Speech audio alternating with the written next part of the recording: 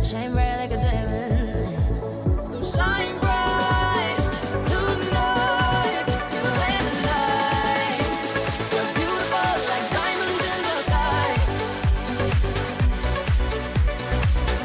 Estamos de volta com o Jami Khalili, maravilhoso aqui no Lacrando com Glamour. Jami, é, dentro de vários projetos seus que, que eu conheço, existe algum para 2021 que você queira muito que ele seja, olha, eu quero este?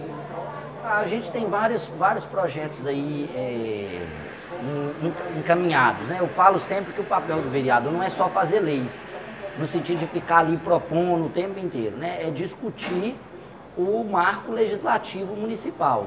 E eu tenho participado muito de todas as pautas que estão colocadas na Câmara. Eu tenho me envolvido em todas elas.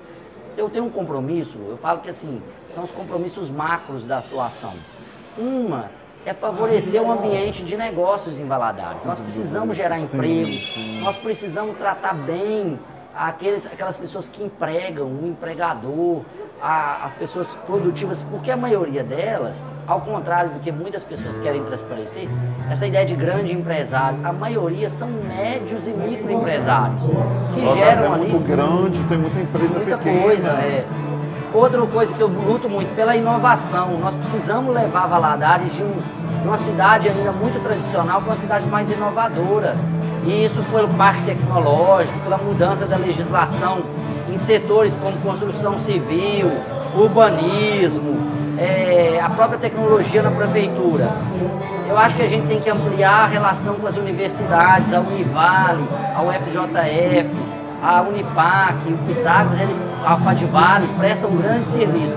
E eu tenho uma pauta que eu falo que é do meu coração, que é a pauta dos deficientes físicos. E a gente, eu quero aprofundar nisso esse ano. Jami, você também é muito bem quisto com os estudantes, né? Você é um professor, é, depois que você assumiu, como é que tem sido essa relação com os estudantes? É, eu continuo dando aula, né? Eu continuo como professor na Universidade Federal. Minhas aulas são no turno da manhã.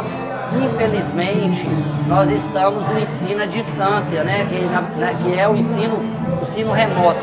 Por causa da pandemia, a gente ainda não pôde fazer esse contato. Mas eu tenho é, dois princípios. Eu dou minha aula do início ao fim. Eu explico a matéria. Se for um pensamento de direita, de esquerda, eu explico cada um deles. Sem fazer com que o meu aluno seja obrigado a concordar comigo. Então esse é o primeiro princípio que eu tenho. De tratar meu aluno com seriedade.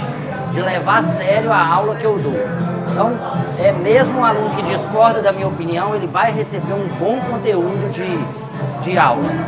E o outro princípio que eu tenho é ajudá-los na carreira profissional deles. Então eu tenho um contato muito grande que me aproxima muito, porque eu busco amenizar essa angústia da profissão, que é a angústia que a gente tem, né? O que, que eu vou fazer pro resto da minha vida? Populares do meu coração, eu vou ali e volto já com um bate-papo com o maravilhoso Jami.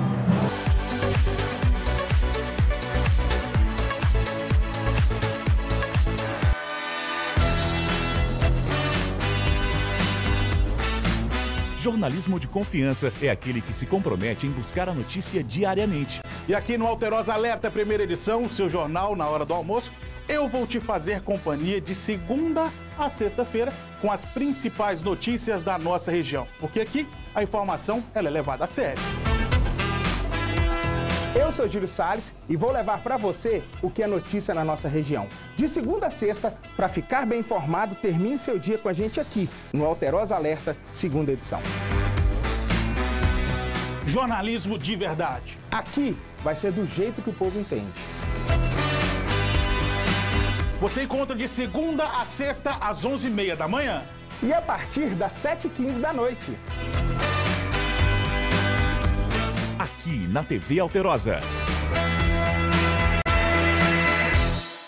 Quer ficar por dentro das principais notícias do leste de Minas? É muito fácil. Siga as redes sociais da TV Alterosa Leste. No YouTube, basta se inscrever no nosso canal TV Alterosa Leste e ativar o sininho. No Instagram também é fácil. É só seguir a gente, arroba TV Alterosa Leste. E no Facebook, a gente espera a sua curtida na nossa página, que é TV Alterosa Leste. Tá esperando o quê para ficar bem informado na tela do seu computador ou na palma da sua mão? Siga as redes sociais da TV Alterosa Leste.